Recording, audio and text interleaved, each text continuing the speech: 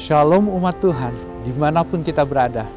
Pada saat ini kita kembali bertemu dalam kasih Tuhan kita Yesus Kristus dalam mempelajari firman Tuhan.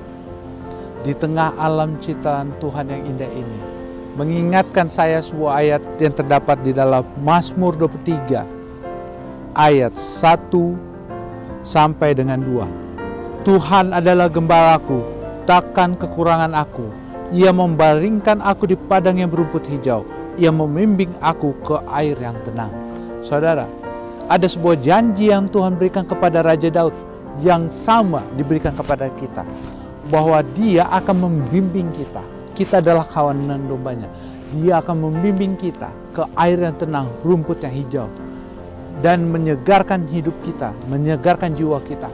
Kita tidak perlu takut tentang masa depan kita. Karena Tuhan akan selalu beserta dengan kita.